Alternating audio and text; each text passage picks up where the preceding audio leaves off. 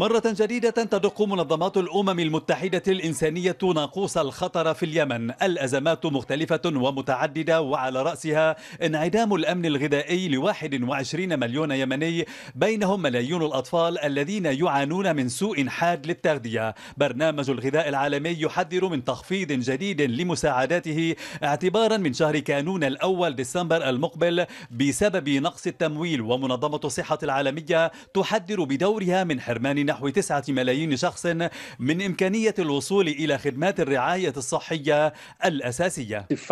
إذا لم نتلقى التمويل بحلول شهر أكتوبر فستتوقف أعمال الاستجابة لتفشي وباء كورونا وسيقفل الكثير من مرافق العلاج في 23 محافظة وسيتأثر ما يصل إلى 18 مليون شخص بما في ذلك 6 ملايين طفل هم بحاجة ماسة إلى التلقيح ضد الأمراض الفتاكة مثل الحصبة وشلل الأطفال. في اليمن يعاني واحد من كل خمسة أطفال من سوء التغذية الحاد.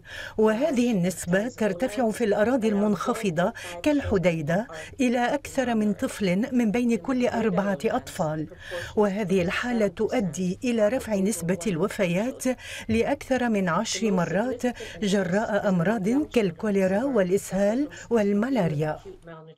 حصار التحالف السعودي على المرافق اليمنية ومنع وصول المساعدات الإنسانية والبضائع يتحمل إلى حد كبير مسؤولية ارتفاع مستوى معاناة اليمنيين. للأسف إذا ما استمر فرض الحظر سنكون أمام استنفاد المخزون الغذائي المتوافر ولن نكون فقط بحاجة إلى موارد جديدة لشراء الغذاء.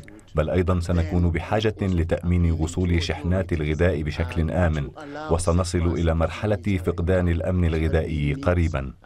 مكتب تنسيق المساعدات الأممية كشف أن الدول المشاركة في مؤتمرات الدول المانحة لليمن وآخرها كان برعاية السعودية لم تفي سوى بنسبة 43% من وعودها. رغم كل نداءات الأمم المتحدة والمجتمع الدولي يواصل التحالف السعودي حصارا على اليمن بات في نظر المنظمات الأممية السبب الرئيس في أزمة غذائية وطبية فاقت بخطورتها كل معاناة اليمنيين طيلة السنوات الخمس الماضية.